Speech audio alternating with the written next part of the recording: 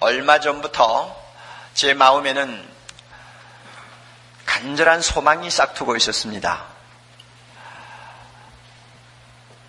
그 소망으로 인해서 주님 앞에 무릎을 꿇을 때마다 저도 모르게 제 마음에 있는 소원을 주님께 아리기 시작했습니다. 주여, 주님의 영광을 좀 보게 해 주시옵소서. 이것이 저의 소망이었습니다. 아마 여러분 들으시면 이상한 말 한다 그렇게 생각할지 모르겠어요. 그러나 저에게는 굉장히 진지한 기도요, 소망이었습니다. 주님, 주의 영광을 보게 하옵소서. 내 눈을 열어 주의 영광을 좀 보게 해 주시옵소서. 비슷한 기도를 한 분이 구약에 있습니다. 출애굽기 33장에 가서 보면 위대한 지도자 모세가 매우 어려운 상황에 처했을 때에 그가 하나님 앞에 주여 주의 영광을 보여주옵소서 하고 매달린 어, 이야기를 우리는 듣습니다. 이스라엘 백성들은 우상숭배에 빠져서 하나님에게서 등을 돌렸고 이것을 보고 노하신 하나님은 다시는 이스라엘 백성하고 동행하지 않겠다고 말씀을 하시는 그 와중에서 지도자 모세는 이러지도 못하고 저러지도 못해서 하나님 앞에 울며 매달리던 참 어려운 상황이었습니다. 그때에 모세는 주여 주의 영광을 보여주옵소서 하고 기도한 것을 우리는 봅니다. 성경을 읽을 때마다 왜 갑자기 주의 영광을 보여달라고 했는지 저는 이해를 못했는데 요즘에 와서는 그 기도가 저의 기도가 되고 나니까 아 모세가 왜 이런 이상한 요구를 하나님께 했을까 약간 감을 잡을 수 있고 이해를 하게 됩니다. 이와 같은 저의 기도를 들으시고 주님은 제 마음속에 이런 대답을 주셨어요. 너 나의 영광을 보기를 원하면 요한복음을 읽어라. 제가 속으로 그랬죠. 아, 예수님 요한복음은 예수 안 믿는 사람들을 위해서 기록하지 않았습니까? 20장 21절에 보면 오직 이것을 기록하면 예수께서 하나님의 아들이 아들 그리스도 되심을 믿게 하려 하며 또한 믿는 자에게 영생을 얻도록 하기 위함이라고 분명히 말씀했으니까 요한복음은 안 믿는 사람을 위해서 기록한 책인데 왜 영광을 보여달라고 하는 나에게 읽으라고 합니까? 저는 이미 믿지 않습니까? 이미 저는 하나님의 자녀 아닙니까? 하는 그런 마음이 생겼어요. 그랬더니 주님께서 저에게 이런 깨달음을 주셨어요. 너 아직도 요한복음 1장 14절을 보지 못했구만. 그러니까 그런 소리 하지. 여러분, 제가 그와 같은 마음의 음성을 듣고 요한복음 1장 14절을 제가 보았죠. 보았더니 한번 보실까요? 말씀이 육신이 되어 우리 가운데 거하심에 우리가 그 영광을 보니 아버지의 독생자의 영광이요 은혜와 진리가 충만하더라. 아니 여기에 하나님의 영광을 본다는 사람들이 등장합니다. 우리가 그 영광을 보니 아, 이 말씀이 있어요. 아 이래서 예수님이 나에게 14절을 보라고 했구나. 제가 그렇게 깨달았습니다. 아 그런 말씀이군. 하나님의 영광을 보기를 원하면 요한복음을 보라. 요한복음을 보면 그 요한복음 안에는 하나님의 영광을 보는 거룩한 성도들이 등장하고 그 영광을 보는 사람들이 받는 은혜가 그 속에 다 기록이 되어 있다는 말입니다.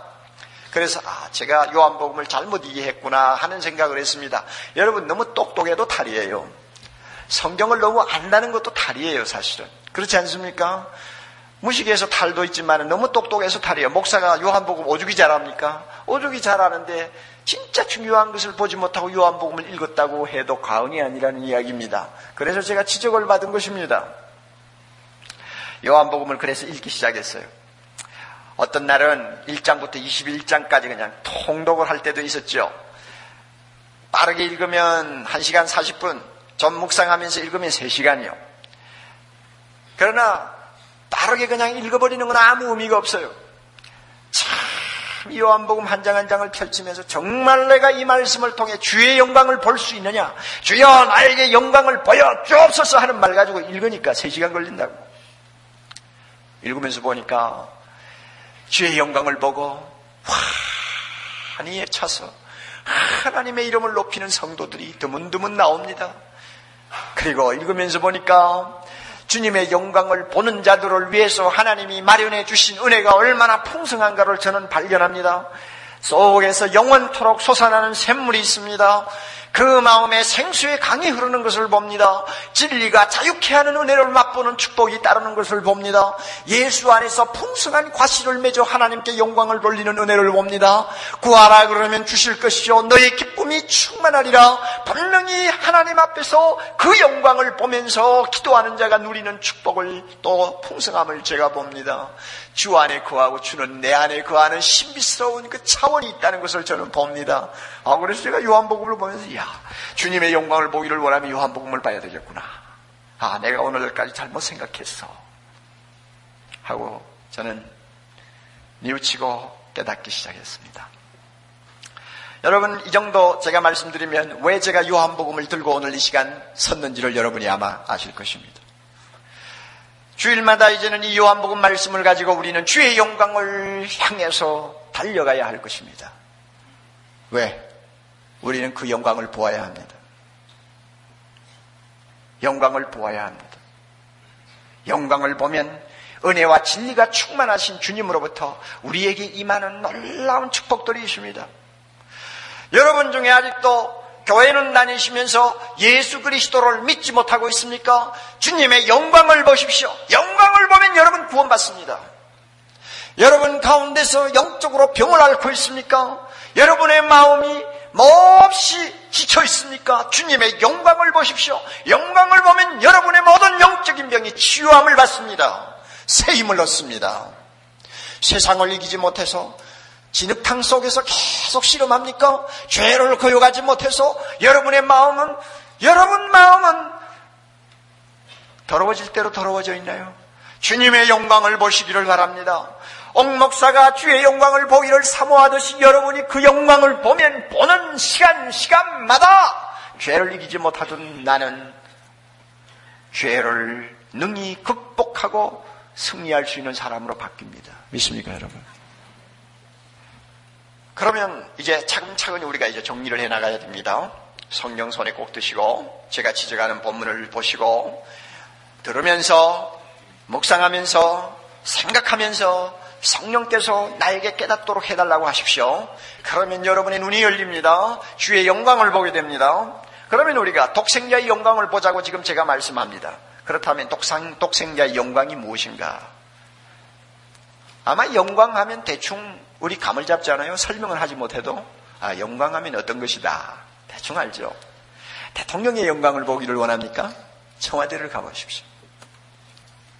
한 세기에 한 사람이 날까 말까 탁월한 천재적인 음악과의 영광을 보기를 원합니까? 정명훈 씨라든지 장영주 양이라든지 그들이 그들이 그 누리는 영광을 한번 보기를 원하면 강복 50주년 음악제가 열렸던 자, 어, 잠실 체육관으로 가보시면 와 그 영광이 대단하구나 하는 걸 금방 알 수 있습니다.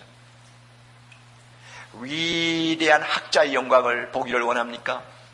대학마다 교실마다 여러분 한번 들어가서 그 학자의 이론, 그 학자의 여러 가지 자료들을 인용하면서 계속 가르치고 공부하는 그 분위기를 한번 보세요. 그러면 이야 탁월한 학자의 영광이 어떤 것인가를 금방 압니다. 우리 영광이 뭔지 알아요? 그러면 독생자의 영광은 어떤 것이냐? 자, 이것을 알기 위해서 우리는 14절로 돌아가야 됩니다. 14절은 이번 한 주간 동안 저와 여러분이 외우면서 묵상해야 될 본문입니다. 잘 보세요. 제가 참 여름에 좀, 어, 교회를 비우는 사이에 돌아와 보니까 이 외우는 메모리지가 너무너무 많이 남아있어요. 그래가지고 폐기 처분을 하더라고요. 왜냐? 잘 안 해온다 그거예요. 놀랍게도 우리 교역자들 체크를 해봤더니 일주일 내에 안 해오고 있어요. 얼마나 놀랬는지. 그런데 더 놀란 거 있어요. 나 자신을 보니까 나도 일주일 동안 한 번도 안 해오고 넘어갔어. 얼마나 놀라운 일인지. 참, 얼마나 놀라운 일인지. 자, 그래요. 아무리 좋은 것이라도 우리가 참 정신 차리고 참 간절한 마음을 가지고 어린애처럼 매달리지 아니하면 얼마 지나지 않아서 다 잃어버려요. 이러면 안 돼요. 다시, 다시 합시다.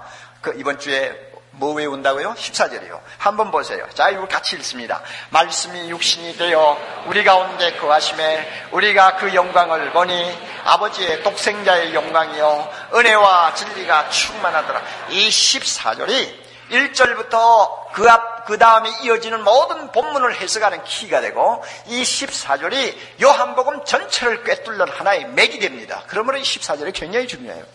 여기에 보면 주님의 영광을 독생자의 영광을 보는 사람들의 간증이 나옵니다. 그러면 제일 처음 나오는 말씀이 뭡니까? 말씀이 육신이 되어 이 말씀이라는 단어입니다. 우리 이거 한번 검토해야 됩니다. 뭐 교회를 한 2, 3년 다니시고 신약을 한두 번 읽으신 분이면 말씀하면 누굽니까? 대충 알죠? 누구예요? 예수 그리스도라는 거 금방 압니다.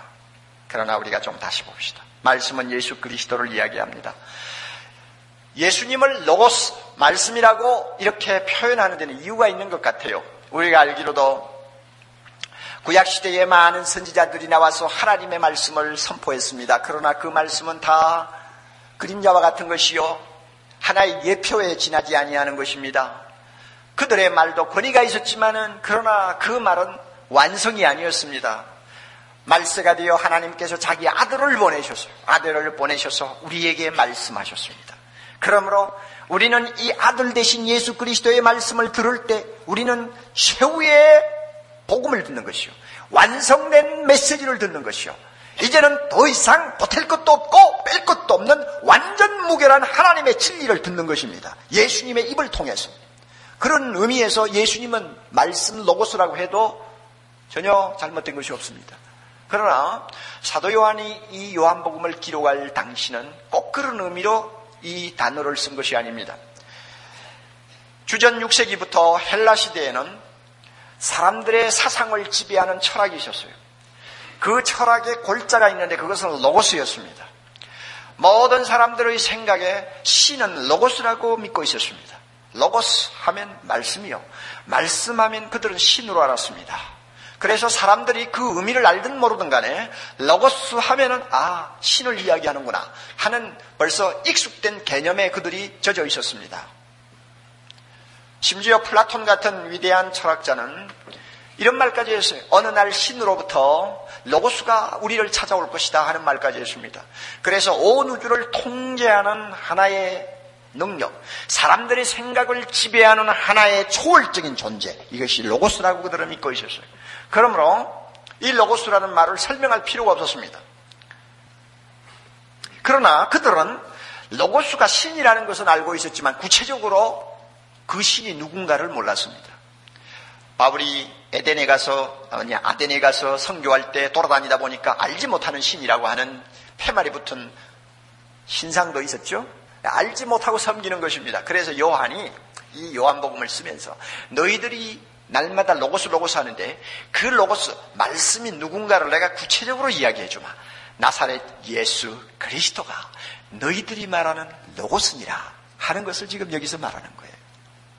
그러면 그 당시 사람들은 아 그렇구나 로고스가 바로 나사렛 예수시구나 하는 것을 금방 서로 깨맞춰서 알 수가 있었습니다. 우리가 초자연적이고 신비적인 또 영적인 진리를 전할 때에 사람들에게 익숙한 개념을 우리가 사용하지 아니하면 의사 전달에 대단히 어려움을 느낄 때가 있습니다. 그러므로 요한이 이 로고스를 예수라는 단어 대신에 대치한 것은 매우 지혜로운 일이었고 성령의 감동으로 된 것이라고 저는 봅니다. 일본에 여러분 저는 가끔 갑니다. 그리고 일본 목사님들을 자주 만나는데 그분들하고 뭐 기도를 한다든지 또 그분들의 설교를 듣다 보면 참 귀에 거슬리는 말 하나가 있습니다. 가미사마. 가미사마가 뭔지 아세요? 굉장히 저에게는 인상이 안 좋은 말입니다. 우리가 일본, 일본의 식민지, 식민지가 되어 있을 때에 천황을 그들은, 천황을, 천황을 그들은 가미사마라고 그랬어요. 일본의 신이라고 했습니다. 그리고 그들이 섬기는 수백만의 잡신들을 전부 다 가미사마라고 그래요. 그러니까 그 가미사마 때문에 우리 한국 사람들 특히 믿음 좋은 사람들이 얼마나 고난을 당하고 얼마나 어려움을 겪었습니까? 그러니까 가미사마 하면은 아주 저, 저의 입장에서만 봐도 진절머리가 나는 단어 중에 하나입니다. 그런데 일본 목사님들하고 만나 기도를 하면 하나님을 가미사마라고 그런단 말이에요.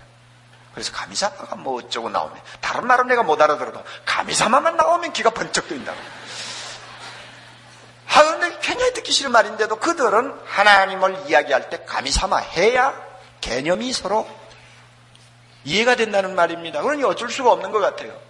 아무리 듣기 싫어도 그들은 하나님, 신 하고 말할 때는 가미사마라고 해야 돼요. 감사하게도 우리나라는 막연히 신이라고 하지 않고 무엇이라고 부릅니까? 하나님이라고 부릅니다. 그래서 한국 교회가 부흥하는 거예요. 일본은 날마다 감사마 감사마라가 날마다 적골이 돼 있잖아. 한 일본 교회가 저 모양이라고. 그렇죠? 그러나 우리가 사람들이 이해할 수 있는 개념을 사용한다. 이것은 우리가 전도에 있어서도 그렇고 성경 말씀을 가르치는 데 있어서도 그렇고 이것은 지혜로운 방법 중의 하나라고 우리는 요한복음을 통해서 배우게 됩니다. 말씀은 예수 그리스도입니다. 그러면 말씀은 어떤 분입니까? 1절로 올라갑니다. 다 같이 태초에 말씀이 계시니라. 이 말씀이 하나님과 함께 계시다. 자, 태초에 말씀이 계시니라. 태초는 성경에서 두 가지 의미로 사용되고 있습니다. 하나는 시간의 시작을 말합니다. 창세기 1장 1절에 보면 태초에 하나님이 천지를 창조하시니라. 드디어 시간의 시간의 시작을 알리는 태초입니다. 그러나 요한복음 1장 1절에는 이것은 시간의 시작이 아니라 영원한 과거를 말합니다. 시작도 없고 끝도 없고 영원한 과거입니다. 이것이 태초입니다. 예수 그리스도 이 말씀은 영원부터 계신 분입니다. 그리고 영원히 자존하시는 분입니다. 시작도 없고 끝도 없는 알파와 오메가입니다. 이분을 일컬어서 태초라고 말합니다. 나사렛 목수의 모습을 가지고 세상에 오신 그분이 영원부터 자존하시는 분이라고 믿는다는 것은 쉬운 일이 아닙니다. 예수님이 예루살렘에 가셔서 갑자기 유명 인사가 되었습니다. 나사렛이라는 시골에 처박혀가지고 날마다 목수일만 하시던 분이 갑자기 예루살렘에 가셔서 하나님의 말씀을 전하시고 이적 기사를 행하시자 하루아침에 그는 온 이스라엘 사람들이 입에 입에 올리는 유명인사가 되어가지고 그 다음에 자기 고향으로 돌아왔습니다. 고향에 있는 사람들도 예수님을 새로운 눈으로 보았습니다. 예수님이 회당에서 그들에게 말씀을 가르쳤습니다. 권세 있는 말씀이었습니다. 그러나 예수님께서 그들에게 책이 하나 잡혔어요. 책이 잡혔다면 이상하지만 그들이 말꼬리를 물고 늘어질 수 있는 여지를 주었다 그 말입니다. 예수님이 이런 말씀하셨거든요. 아브라함이 너희 조상 아브라함이 나의 때 볼 것을 사모하다가 보고 기뻐하였느니라. 그러니까 아브라함이 나를 보려고 무척 애를 쓰고 사모하다가 드디어 나를 보고 기뻐하였느니라 하는 말씀을 하셨어요. 뭐 도무지 이해할 수 없는 말이죠. 아브라함은 예수님보다도 2600년 전에 세상에 살았다가 간 사람인데 그 옛날에 살았던 사람이 어떻게 예수님을 보았다고 할 수 있습니까? 도무지 이해할 수가 없죠. 그러니까 유대인들이 물고 늘어졌어요. 너 아직도 50도 안 됐는데 네가 아브라함보다 먼저 있었느냐? 네가 아브라함을 보았느냐? 하고 대들었습니다. 이때 예수님께서 요한복음 8장 58절에 참 기막힌 대답을 하셨어요. 자, 아브라함이 나기 전부터 그 다음에 내가 있느니라. 여러분 한번 다시. 아브라함이 나기 전부터 내가 있느니라. 여러분 이해됩니까? 그러니까 유대인들이 얼마나 화가 났는지 돌을 들고 막 치려고 달려들었죠. 여러분 누가 예수님에게서 하나님의 영광을 볼 수 있습니까? 하나님으로부터 난 사람이라야 합니다. 낫다는 말은 예수님을 믿는다는 말과 통할 수가 있습니다. 그러나 여러분 본다는 말에 대해서는 제가 다음 시간에 충분히 설명을 해드리겠습니다. 설명하지 않아도 이 시간 여러분 대충 무슨 말씀인지 알 거예요. 하나님의 영광을 보는 사람은 하나님으로부터 난 사람입니다. 하나님으로부터 난 사람은 예수 그리스도에게서 하나님의 영광을 봅니다. 그리고 그 영광 앞에 압도됩니다. 여러분은 어떻습니까? 영국에서 출판된 브리태니커 백과사전에 보면 유니우스라고 유니우스라고 하는 사람의 이름이 나옵니다. 뭐 우리 저나 여러분이나 한동안 몰랐던 사람입니다. 그러나 백과사전에 그 이름이 기록되어 있고 상당한 분량의 설명이 들어있을 정도면 그건 난 사람이죠. 17세기의 인물인데 그분은 목사요 그리고 옥스퍼드 대학교의 교수였고 탁월한 고전학자였습니다. 이 유니우스는 목사 집안에서 자란 사람입니다. 자기 아버지가 목사였습니다. 그런데 이 자기 아버지도 탁월한 인물이어서 브리테니카 백과사전에는 이름이 보이지 않지만은 기독교 백과사전에는 자기 아버지 이름까지 나옵니다. 자기 아버지에 대한 설명들이 나옵니다. 그러니까 부자간 아주 탁월한 사람들이었어요. 그러니 그렇게 훌륭한 목사 밑에서 자란 자녀니까 어려서부터 얼마나 믿음이 좋겠어요. 우리는 그렇게 생각하죠. 그런데 정반대 현상이 참 많이 일어납니다. 이 유니우스도 굉장히 똑똑하고 머리가 총명한 소년이었는데 어려서는 아버지 밑에서 신앙생활을 했지만은 머리가 커지고 학교에 좀 학교에 가서 고등학문을 자꾸 배우고 하면서 점점 믿음에서 떠났어요. 떠났어요. 결국 나중에는 신앙생활 포기해 버렸어요. 그의 아버지는 자기 아들을 놓고 늘 마음에 기도합니다. 그러나 절대 강압적으로 신앙생활 잘하라고 말을 한 일이 없다고 합니다. 목사 집안에서는 그런 사례가 많아요. 목사 집안에서 예수 잘 믿으라고 너무 욱박지르면 오히려 빗나갈 확률이 참 많습니다. 장로 집안도 그럴 거예요. 그러므로 아마 이 아버지는 상당히 총명한 사람이었던 것 같아요. 그래서 강연은 하지 않았어요. 그렇지만 그는 기도하면서 한 가지 묘안을 생각했습니다. 유니우스가 자기 서재에 가끔 들어오는 것을 알고 있습니다. 유니우스 자기 아들이 자기 서재에 들어오면 항상 잘 찾아가는 곳이 있어요. 그 책이 꽂힌 자리 잘 찾아가는 곳, 찾아가는 곳이 있는데 그곳에다가 아버지가 신약 성경을 갖다 놓았습니다. 그리고는 갖다 놨다는 말도 하지 않고 내버려 두었어요. 아버지는 믿음을 가지고 있었습니다. 언젠가 하나님께서 내 아들의 눈을 열어주시면 이 아들이 이 성경책을 보게 되는 날이 있을 것이다. 그리고는 꾸준히 기다렸습니다. 어느 날 그 아들이 아버지가 계시지 않는 서재에 들어왔습니다. 무슨 생각에 골몰하면서 서재에 들어와 가지고는 무슨 책을 찾으려고 했는지 자기가 잘 가는 그 자리를 갔습니다. 가서 보니까 앞에 책이 하나 놓여 있었어요. 그래서 무심코 폈습니다. 성경이죠. 무심코 폈는데 요한복음 1장을 폈어요. 그리고 그가 쓱 보지 않겠어요? 태초에 말씀이 계시니라 이 말씀이 하나님과 함께 계셨으니 이 말씀은 곧 하나님이니라 뭔가 가슴을 꽉 치는 게 있었습니다.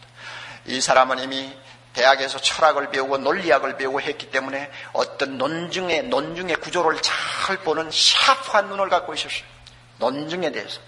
그런데 태초에 말씀이 계시니라 이 말씀은 하나님과 함께 계셨고 이 말씀은 곧 하나님이니라. 이야 이거 대단한 논증이구나. 강렬하면서도 힘 있고 군더기 살이 없이 정말로 핵심을 치면서 3단계로 뛰는 이 논, 논증 방법을 그가 탁 보고는 야 성경에 이런 말씀이 있었나? 야 이거 대단한 거구나. 그래가지고 매력을 느껴가지고 그 다음에 쭉 1장을 읽었다고 합니다. 그리고는 태초에 말씀이 계신다. 이 말씀이 하나님과 함께 계셨어? 이 말씀이 하나님이라? 아, 막 이상하게 마음이 이상해지요. 이상이, 마음이 이상해지니까 성경 닫아버렸어요. 그리고는 그 서재를 나왔습니다. 나왔는데 이상하게 마음이 진정이 되지 않아요. 흥분한다고 할까요? 충격을 받았다고 할까요? 불안하다고 할까요? 뭔가 쫓긴다고 할까요? 말로 표현할 수 없는 어떤 감정에 막 붙들려가지고 끌려다니는 거예요. 하루 종일 가도 그 마음이 진정이 되지를 않아요. 밤을 새도 그 마음이 진정이 되지 않아요. 그래서 그의 자서전을 보면 너무 견딜 수가 없어서 그만 자기도 모르는 사이에 무릎을 꿇었다고 합니다. 그리고 예수님, 예수님이 하나님 되심을 제가 이제 믿겠습니다. 예수님이 하나님이신 것을 제가 이제는 고백합니다. 하고 신앙 고백을 했다고 합니다. 그랬더니 그 순간에 형용할 수 없는 평안이 그의 마음을 지배하기 시작했습니다. 그 불안하고 초조하던 마음에 마음이 잔잔한 바다와 같이 된 것입니다. 그래서 그 청년이 드디어 신학을 해서 목사가 되고 그 다음에 그의 그 탁월한 두뇌 때문에 목사가 되었지만은 학자로서 옥스포드에서 가르쳤고 그 다음에 우리 성경의 사본을 연구하는데 결정적인 기여를 한 학자로 지금 꼽혀 있습니다. 하나님께서 난 자는 봅니다. 하나님으로부터 난 사람은 초라한 예수님의 모습에서 하나님을 봅니다. 할렐루야. 나사렛 예수 안에 하나님의 영광이 있는 것을 봅니다. 여러분, 저는 여러분에게 다시 말씀드립니다. 예수를 오래 믿으신 분들에게 다시 말씀드립니다. 사랑하는 형제 자매 여러분, 여러분 정말 예수님에게서 하나님의 영광을 보고 계십니까? 보고 계십니까? 그 영광의 찬란함 앞에 여러분이 무릎을 꿇고 감격합니까? 그 영광 앞에 여러분은 압도되어 하나님을 찬송하지 아니하면 아니하면 견딜 수 없는 흥분과 마음의 뜨거움을 느낍니까? 아니면 여러분 돈의 영광이 여러분의 마음을 덮고 있습니까? 쾌락의 영광이 여러분의 마음을 지배하고 있습니까? 그래서 예수님의 영광 그것은 별 흥미가 없는 것이 되어버렸나요? 그렇다면 사랑하는 형제자매 여러분, 옥목사와 같이 다시 하나님 앞에 기도해야 됩니다. 주여 나의 영광을 보여, 아, 주님의 영광을 보여주옵소서. 내 눈을 열고 주의 영광, 하나님의 영광을 다시 보여주옵소서. 그렇다면 그 영광을 보는 순간순간마다 우리 영혼의 질병은 사라질 것입니다. 할렐루야. 그 영광을 볼 때마다 헛된 세상 영광에 취하여 있던 내 마음은 하늘의 영광의 빛으로 가득하게 될 것입니다. 예수 그리스도가 하나님이신 것을 보는 그 영광의 눈이 열리면은 오늘까지 여러분의 마음을 짓누르고 있던 모든 근심, 걱정 사라집니다. 왜 오늘 우리가 세상에서 예수를 믿는다 하면서 세상 사람하고 조금도 다름이 없는 그런 표정, 그런, 그런 말씨, 그런 행동, 그런 생활 패턴, 거기에서 벗어나지 못합니까? 예수를 믿는다고 말만 하지, 주님의 영광을 아직도 보지 못하는 거예요. 주의 영광 보는 사람은 달라집니다. 주의 영광 보는 사람은 그분 앞에 무릎을 꿇고 나에 있는 생명, 나에게 있는 생명, 나에게 있는 생애 기쁨으로 드리기를 원합니다. 그분의 영광 보는 사람은 나의 직업, 나의 가정도 주님의 것이라고 고백합니다. 주님의 영광을 보는 사람은 세상에서 어떤 기쁨이나 어떤 행복을 추구하지 않습니다. 예수님의 영광 앞에 이 세상의 것은 다 헛된 것이요. 태양 앞에 촛불과 같은 것이라 아무런 의미가 없는 것입니다. 성공했습니까? 의미가 뭡니까? 돈 벌었습니까? 의미가 뭡니까? 사람들에게 여러분 존경을 받습니까? 도대체 몇 년이나 그 존경이 갈 것입니까? 내가 건강합니까? 그 건강이 얼마만큼 여러분의 생명을 지탱해 줄 것입니까?